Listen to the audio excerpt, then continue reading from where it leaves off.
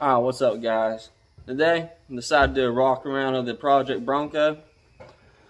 Gonna start a YouTube series on the build. Gonna be a mud project.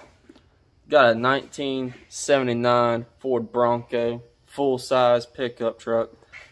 Go ahead and give you all the walk around.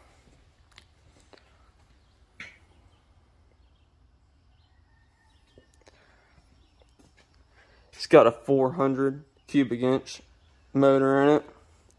Came from the factory.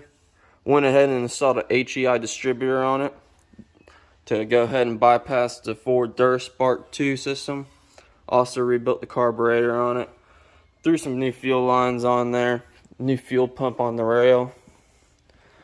Project's pretty solid overall. There's very little rust on the truck. Everything seems to be surface. Very few spots where it's eating through at.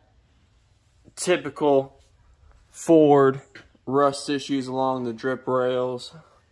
This one happens to have the wing windows in the rear with the sliders. Rare option for these. Have the factory rear seat in it.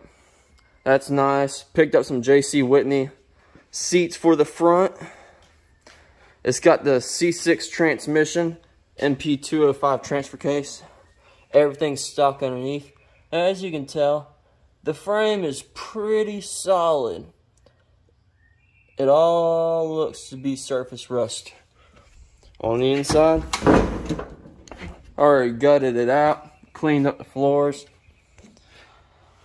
Somebody tried to do a repair panel right here for the floor. We'll be getting rid of that, doing it the right way some of the interiors here most of it's intact. I've got most of the missing interior panels and pieces but for a mud truck you don't need too much of it.